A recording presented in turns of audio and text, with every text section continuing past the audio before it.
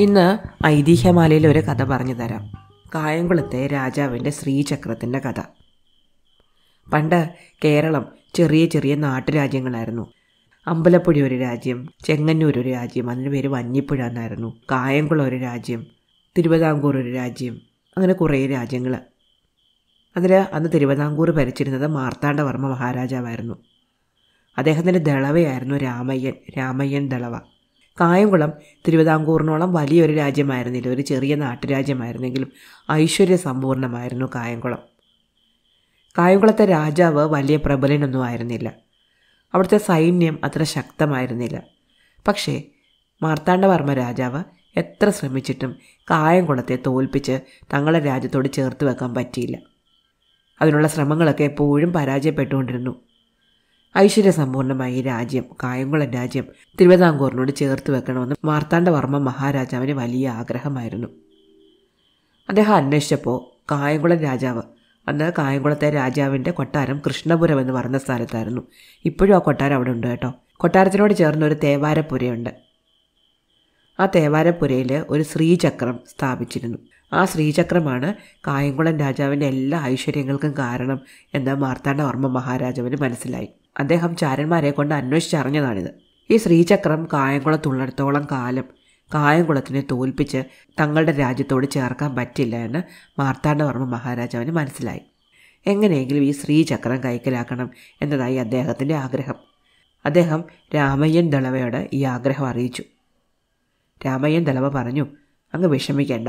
ഞാൻ ഈ ശ്രീചക്രം എങ്ങനെയെങ്കിലും തിരുവിതാംകൂറിൽ എത്തിച്ചിരിക്കും അങ്ങനെ ശ്രീചക്രം കൈക്കലാക്കുക എന്ന ഉദ്ദേശത്തോടു കൂടി രാമയ്യൻ ദളവ കായംകുളത്ത് എത്തിച്ചേർന്നു അദ്ദേഹം വേഷപ്രച്ഛന്നനായാണ് കായംകുളത്തെത്തിയത് ഒരു ഭ്രാന്തന്റെ വേഷത്തിൽ ഈ ഭ്രാന്തന്റെ വേഷത്തിലെത്തിയിട്ട് അദ്ദേഹം കായംകുളത്തൊക്കെ ചുറ്റും നടന്നു.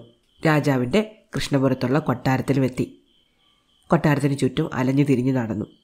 കുറേ ദിവസം നടന്നതോടെ ഇയാളെ എല്ലാവർക്കും അറിയാമെന്നായി എവിടെയൊന്നോ വന്നൊരു ഭ്രാന്തൻ നാടൊക്കെ ചുറ്റി നടക്കുന്നു എന്നാണ് ആൾക്കാർ കരുതിയത്. ആദ്യമൊക്കെ ആൾക്കാർ ഈ ഭ്രാന്തനെ ഭയപ്പാടോടെ നോക്കിയെങ്കിലും ഇയാളത്ര ഉപദ്രവകാരിയല്ല ആരെയും ഉപദ്രവിക്കുന്ന ആളല്ല. വെറുതെ അതും ഇതും പിച്ചും പെയ്യും ഒക്കെ പറഞ്ഞുകൊണ്ട് അവിടെ ഇവിടെയൊക്കെ നടന്നോളുമെന്ന് ആൾക്കാർക്ക് പിന്നീട് മനസ്സിലായി. അങ്ങനെ കുറേ ദിവസം കഴിഞ്ഞപ്പോൾ പതുക്കെ തേവാരപ്പുരയ്ക്ക് അടുത്ത് ചെന്ന് പൂക്കൾ പറിച്ചു കൊടുക്കുക വിളക്കും പാത്രങ്ങളും കഴുകി വൃത്തിയാക്കാൻ സഹായിക്കുക മുറ്റം തൂക്കുക തുടങ്ങിയ ജോലികളിലൊക്കെ ഈ ഭ്രാന്തൻ സഹായിച്ചു തുടങ്ങി. ജോലിക്കാർക്ക് ഇത് വലിയ സന്തോഷമായി. ഒരു ഭ്രാന്തനാണെങ്കിലും സഹായത്തിന് ആളുണ്ടല്ലോ. അയാൾക്ക് ആൾക്കാർ ഭക്ഷണമൊക്കെ കൊടുക്കാനൊക്കെ തുടങ്ങി. വലിയ അടുപ്പമൊന്നും കാണിച്ചില്ലെങ്കിൽ ഇയാൾ ഇങ്ങനെ കുറേ ദിവസം കറങ്ങി നടന്നു. എല്ലാ ദിവസവും രാവിലെ പൂജയ്ക്ക് മുമ്പായിട്ട് തലേന്ന് പൂജയ്ക്കെടുത്ത പൂക്കളൊക്കെ കൂടെ കൊട്ടാരത്തിലെ ജോലിക്കാരെ പുറത്തു കൊണ്ടുവന്നിടുമായിരുന്നു ഈ ഭ്രാന്തൻ ഒരു കൊട്ടയെടുത്തിട്ട് ഈ പൂക്കളെല്ലാം വാരി ഈ കൊട്ടയിലിടും. എന്റെ തലയിൽ വെച്ചുകൊണ്ട് ദാ കായംകുളം രാജാവിന്റെ ശ്രീചക്രം എന്റെ കയ്യിലുണ്ടേ ഞാനിത് കൊണ്ടുപോവാണേ എന്ന് വിളിച്ചു പറഞ്ഞുകൊണ്ട് അവിടെയൊക്കെ നടക്കും. രാജാവ് സാധാരണ കൊട്ടാരത്തിന്റെ മുകളിലൊരു മാളികയിൽ രാവിലെ കുറച്ചു നേരം ഇരിക്കാറുണ്ട്. ഈ ഭ്രാന്തൻ അതുവഴിയും ചെല്ലും. രാജാവ് കേക്ക് ഉറക്കം വിളിച്ചു പറയും ദാ രാജാവിന്റെ ശ്രീചക്രം ഞാൻ കൊണ്ടുപോവാണേ എന്ന്. ആദ്യമൊക്കെ കാവൽക്കാർ അയാളെ പിടിച്ചു നിർത്തി കൊട്ട പരിശോധിച്ച് നോക്കി. അപ്പോൾ അതിൽ കുറേ ഉണങ്ങിയ പൂക്കളും വാഴനാരും ഒക്കെ കണ്ടുള്ളൂ. അവരെല്ലാവരും അയാളെ കളിയാക്കി ചിരിച്ചു വിട്ടു. അങ്ങനെ കുറേ ദിവസം കഴിഞ്ഞു. അഞ്ചാറ് മാസം എല്ലാ ദിവസവും ഇയാൾ ഇത് തന്നെ ചെയ്തു. നിർമാല്യ പൂജയ്ക്ക് മുമ്പ് പുറത്തിടുന്ന പൂക്കളെല്ലാം കൊട്ടയിലാക്കി അവിടെ എല്ലാം കൊണ്ടു നടന്ന് ദാ ശ്രീചക്രം ഞാൻ കൊണ്ടുപോവാണേ ദാ ശ്രീചക്രം ഞാൻ കൊണ്ടുപോവാണേ എന്ന് പറയും.